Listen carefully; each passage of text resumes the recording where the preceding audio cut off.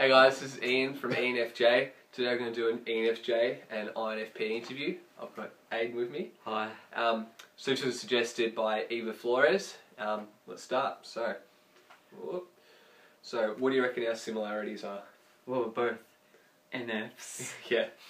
Yep. um, so we're both we're both intuitive and emotional. yeah. Yeah. Um, like more than average person. Yeah. And I feel like we are guided by our emotions. I okay. don't know what I'm talking about. Sorry. no, no, that makes I'm just. Um, would you say we we have the same uh, depth? Maybe Same what? depth. Like, are we both? Um, Not shallow. Yeah, are, are we Oh. both?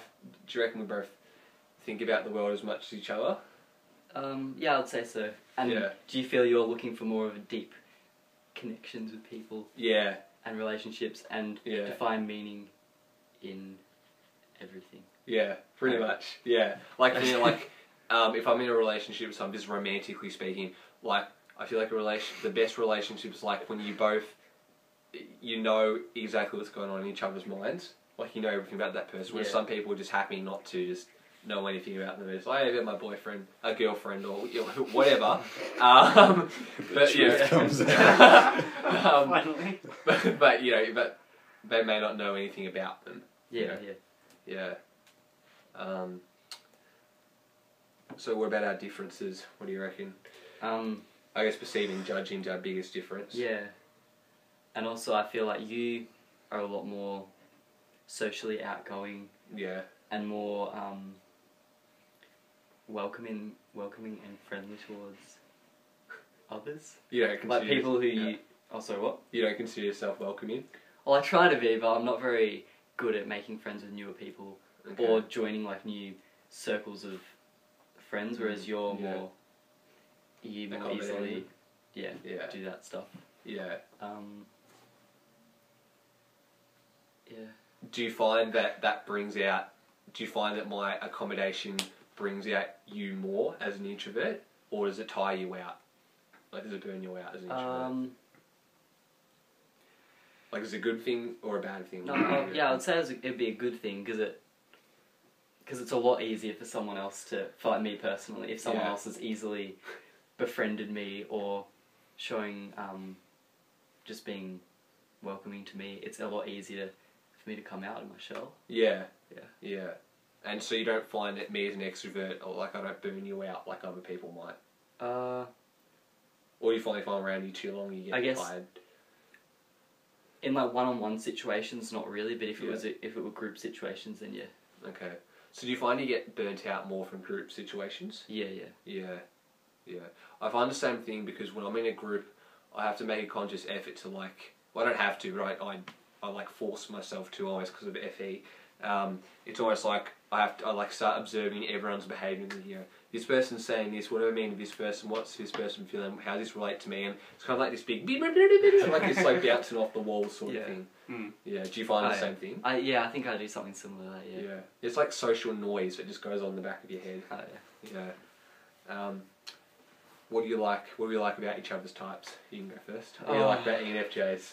I feel like I can relate to them a lot more than other people, um, just because they both think on an emotional level, I guess, and they're more Yeah. understanding of how other people might be feeling in certain situations when a lot of people kind of aren't aware of that, and I Yeah. can relate to that a lot. Yeah. Um, You don't find other INFPs do? oh yeah, yeah, but Yeah. just in general, most people like Oh yeah, yeah. I should say NFs. NFs, yeah, Um, yeah. What do you think? Um, I don't know. Yeah, I don't know. Oh, thoughts on that. I was just going to ask you a question, but I lost it. Oh, okay. And also because you guys are a lot, you're extroverted, I'm introverted. Um, it kind of helps Yeah, because we both don't like you don't get. It's not as hard for you to communicate with another person. Yeah. It would be as if another person were as loud as you, it would be a bit yeah, it's crazy. we're and for me, yeah. if I was with another person who was more introverted, it would just be a bit boring. Mm, you know. yeah, and like, I can just keep on kind of conversations and talking for hours, and it's kind of like you, like you kind of don't mind. Yeah, You yeah. know what I mean? Like Yeah. just ramble. Um, I guess what I like about your type INFPs, um, Well, uh, one thing I've noticed we do was, yeah, like we have an intuitive understanding of each other. Like a lot of the time, um, you'll you'll be searching for a word. I've noticed just recently. You'll be like, um, you know, when people, and I'll be like, oh, when people like do this, I'll come up with the word that you were thinking. You'll be like, oh, that's the word I mean. Yeah, like it's like we almost fill in the gaps of each other's knowledge, And we almost finish each other's. sentences. I could you almost. Ah, yeah. Okay. Nice. Yeah. nice. Nice. Uh, Um, what else do I like about INFPs? Um, oops. hmm, I like their sense of um, like caring for people. Like for example, um, know, a bit of a contrast. Andrew Garfield, INFP.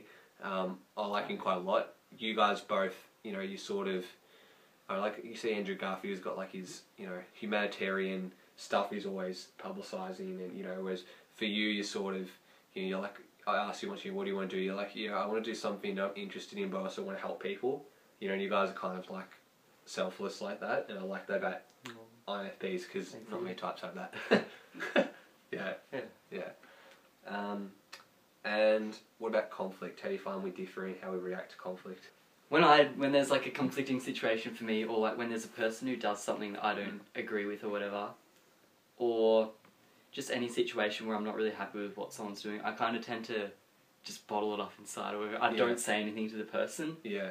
unless it's something like I know that I can persuade them or show them what they're doing wrong without creating an argument, Yeah. because I tend to avoid arguments or anything like that. Yeah. Um, what? It's so annoying. I- I'm trying to anyway. Yeah. Um, but like, how do you, how would you feel you would go, go about that? Um, how do I go about that conflict? Um, for me, with conflict, I'm look, I'm half and half the same as you. Sometimes I will just not say anything because it's just not worth it.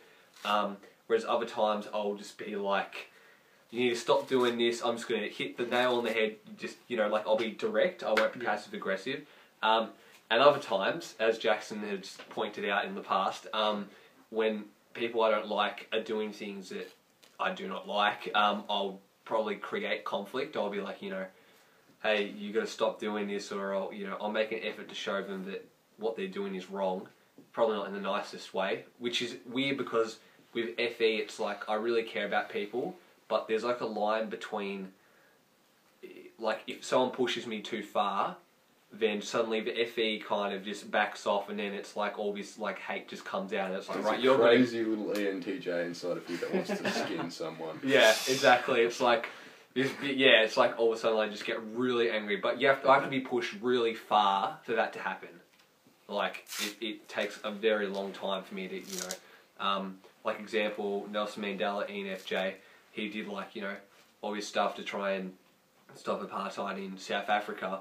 Um, but eventually he just had, you know, his group had to resort to violence because no one was listening. And I guess that's an example of how when ENFJ gets pushed too far, then they create conflict instead of stopping it. Mm. Um, but in terms of how, in terms of how I like deal with it, like you said before, I probably am more open about it. I'll talk to people about it, whereas you you bottle it up. Yeah. Yeah, which is probably once again in like friendship terms, it's like when you bottle up, I'm good at like pointing it out. Yeah. and then or vice versa, you're good at listening.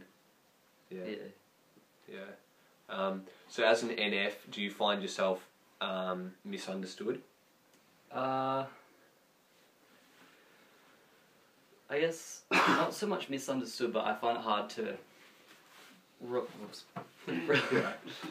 um, to relate to people on a deeper level, like a. Mm. Not so much on just like a. Um, Surface level. yeah. Yeah. Yeah. Um, like I can rela- I can I can understand people easily on those levels, but no one really. I feel like no one really gets like the deeper. Yeah. Mm. Or not many people. Yeah, yeah. I find for me a lot of the time, um,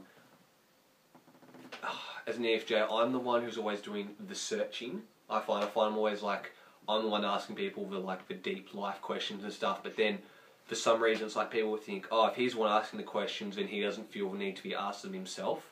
Um, but for me, I love those questions and I and I actually Yeah. need them.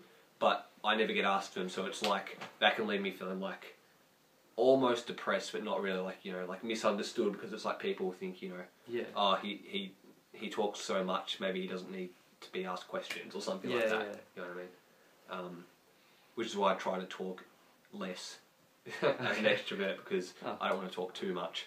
You know what I mean? Like it's finding that balance, I guess. Yeah. Yeah. Have you ever met any female ENFJs? Could you see Um, yourself like dating one or Um, I think the only ENFJ I've met girl is Melody. yeah?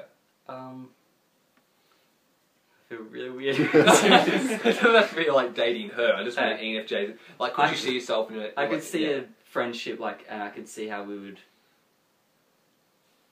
relate. Right, yeah. Develop into something else, or I don't. I could. s- I. c- We would.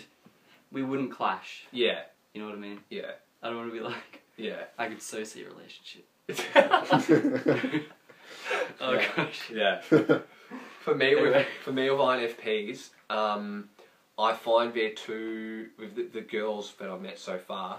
I find they're way too unstructured for me. Who? So the INFJs. INFP girls, I don't know, like, um, this is in friendship as well, not just dating wise. Um, I find they're really like, oh, they're just messy. They're just all over the place, and um, I feel like if I had, if I was in a relationship with one, I'd have to control them too much. Like you got to get your act together. You got to do this. Got to do that, and that's not healthy to do in any relationship. So, yeah, yeah. um, that would be probably my only thing in terms of compatibility. Yeah. okay. All right. Do you have any? Um. What, yeah. do you have any final thoughts? uh.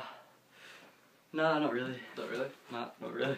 Cool. Oh, one thing I was going to mention is you're the one who got me into personality types. Really, you're one. Hey, Yeah. you and Rachel. Um, so I guess in that regard, we both have similar interests.